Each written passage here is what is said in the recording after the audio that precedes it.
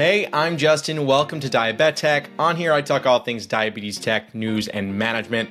And today, I'm talking all about two of the leading CGMs, or continuous glucose monitors the Libre 3 from Abbott and the Dexcom G7 from Dexcom. These are part of the latest generation of continuous glucose monitors. The Libre 3 is FDA cleared for closed loop systems, automated systems, but it is not available available yet on those systems, and the Dexcom G7 companies like Omnipod and Tandem are working to bring support to their closed loop systems with that CGM as well. I'll get more into closed loop later in this show. First of all, what are CGMs? They are continuous glucose monitors. They adhere to your body and they test your interstitial fluid for your blood sugar number. But they're not testing your blood sugar. That's interstitial fluid that lags about 10 to 20 minutes uh, in time behind what your actual blood sugar number is. But they are so key in understanding how foods affect you and if you're rising quickly, dropping quickly, and understanding trends basically over time. They are great for letting you know that you're gonna have a bad high, a bad low soon so you can address it. And eventually, your closed loop systems, your insulin pumps, will be able to address it for you. Now in this video, I'm gonna be comparing the two based off of just all of their stats. I'm not giving you really a user experience video. I am gonna come out with that. I already had my Dexcom G7 review drop a few months ago, and you should check that out. Uh, I'm also gonna be putting on a Libre 3, testing that out for two weeks, and then I'll be able to make that video comparing the two as a user. I'm also going to give the Libre 3 its own dedicated review, so stay tuned for that as well. All right, let's get into this comparison. Let's start off with the size and build. So the Dexcom G7 is 60% smaller than the Dexcom G6. The size is about two quarters stacked on top of one another, and it's an all in one device. The sensor and the transmitter are both in that one device that you put onto your body. The same thing with the Libre 3. It's an all in one device. It's significantly smaller than the G7. It is the size of two stacked pennies. It is ridiculously small, but I also have to say that the Dexcom G7 also feels so small that like I never even realize it's there. When it comes to application, they're both pretty similar. With the G7, you use one device that you push along your body, press a button, and it clips in. Now, the cool thing about the G7 is that its warm up period of only 30 minutes starts as soon as you trigger that button. With the Libre 3, there's a bit smaller of an applicator that you push along your body, press the button, and it goes in, but the warm up time does not start instantly. In order to start the warm up, you'll have to scan it with your phone, but that's the only time you're going to have to scan it. It's not like the Libre 2 where you had to scan for readings. The warm up time for the Libre 3 is 60 minutes, so you're going to be spending more time waiting for those numbers with that device. It's important for me to say that with the Dexcom G7 sensor warm up, yeah, it's 30 minutes, but you can stack the sensors. So basically, what I've been doing as a G7 user is I've been putting one on, leaving leaving the older one on, getting those readings from it, and as soon as the new one is warmed up, I take off the old one and I plug in the new one. For wear time, the Dexcom G7 lasts 10 days with a 12 hour grace period after. So essentially 10 and a half days. The Libre 3 lasts a bit longer, 14 days. So that's a significant amount of time. But if you're going through insurance companies for these, ultimately it most likely may be a similar price for that month's supply. So even though you're changing your Dexcom one extra time a month, pricing may not matter, but of course that's all up to your insurance company, which is a whole thing of its own. With the G7, it is approved for people ages 2 and up. Now, it is approved on the back of the arm for adults and for children that are 2 to 6, it could be on their upper buttocks. Also, outside of the US, it is approved for the abdomen area. Personally, I have been using it there sometimes, and I get into that in my G7 review, but I like it. The Libre 3 is only approved for the back of the arm, similar to the G7 here in the US, and I find that I get good readings with both devices in that area. And yes, I have used one other Libre 3 in the past, and it did get pretty good readings. When it comes to durability, the G7 stays on very well, at least with my body. I've been wearing the G7 for six months and I have never had a G7 come off unless I like hit it on a door, which happened like once, but it's never come off on its own. And that includes in the summer when I'm swimming, when I'm sweating.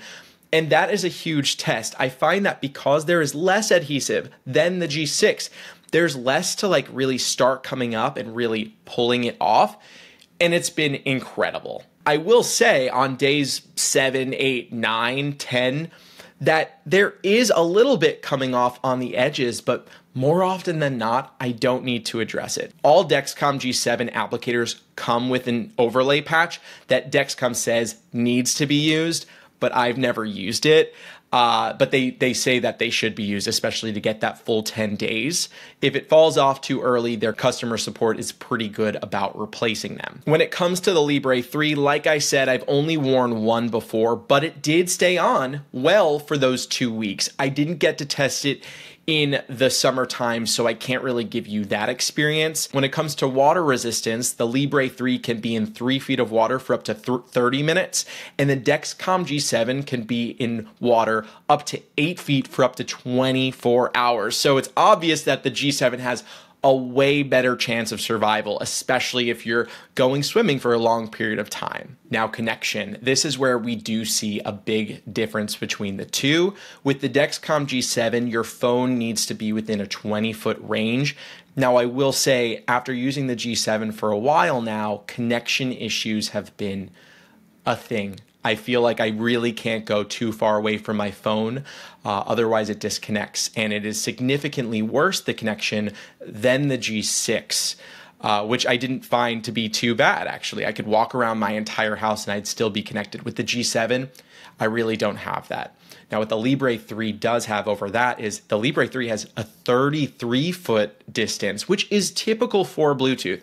Bluetooth ranges about up to 35 feet away. So that 33 feet for Libre 3 will give flexibility to users 30% more flexibility than the G7. The Libre 3 also one ups the G7 when it comes to how often it's sending you the information. Unlike the original Libre 2, which you needed to scan for numbers, the Libre 3 instantly sends glucose numbers to your phone every single minute, whereas the G7, it sends it every five minutes. Now, that's been totally fine. Five minutes totally allows my closed loop system to do its thing, but think of how much more on top of blood sugar and insulin delivery closed loop systems will be when they are working on a one minute basis. They can make decisions five times faster than the G7. So it will be interesting to see once the Libre 3 is connected to these systems, how that differentiates itself from the G7. Now, speaking about compatibility, neither of these devices are compatible with closed loop systems. Here in the US, we have Omnipod 5 and Tandem's T Slim pump, Mobi coming soon, an even smaller pump, the world's smallest hybrid loop system. Those systems are currently working to get compatibility with the Libre 2, the Libre 3, and the Dexcom G7. The new Libre 2 doesn't require you to scan it anymore, so it will be interesting to see how that works when it comes out. That's going to come out before Libre 3 and maybe even before the Dexcom G7.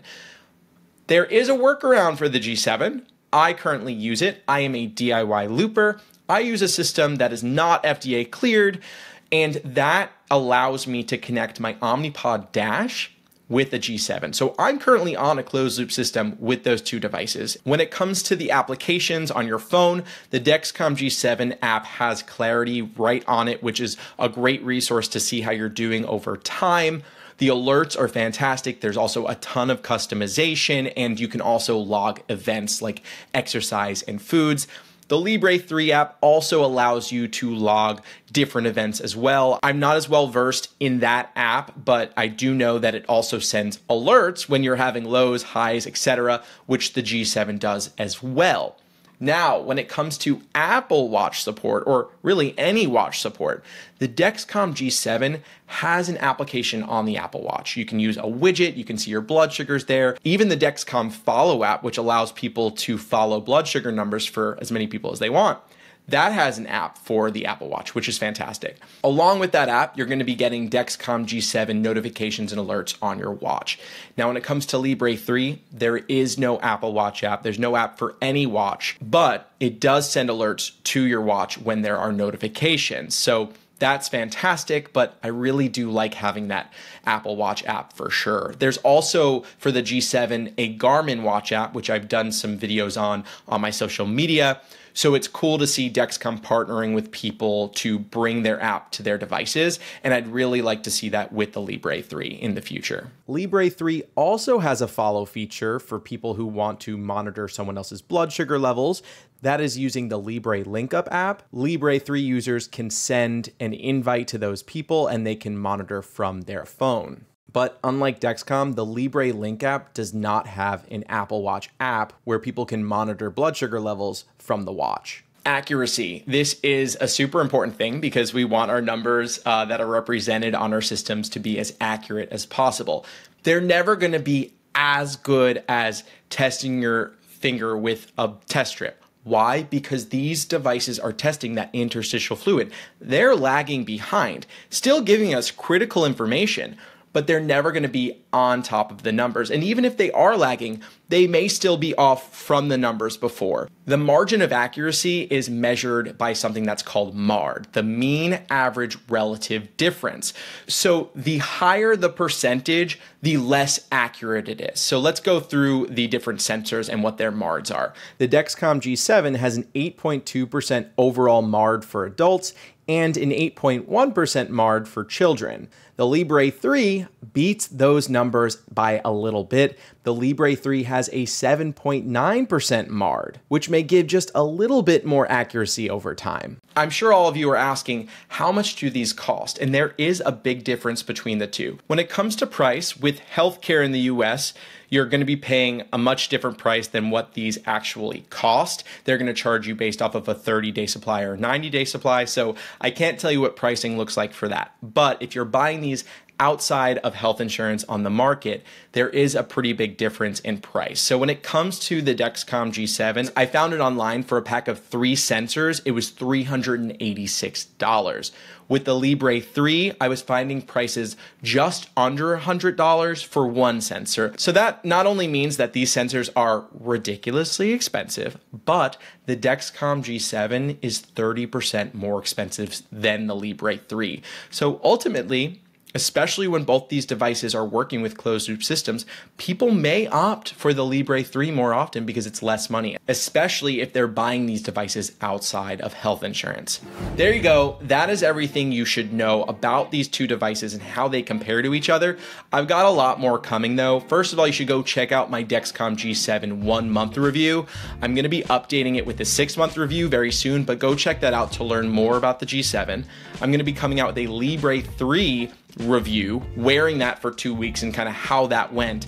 And then I'm also going to do another comparison between the two because I think that it warrants me explaining kind of the experience with alerts and with my Apple Watch and getting those readings every one minute. Of course, I'm not going to be able to really compare them when it comes to a closed loop.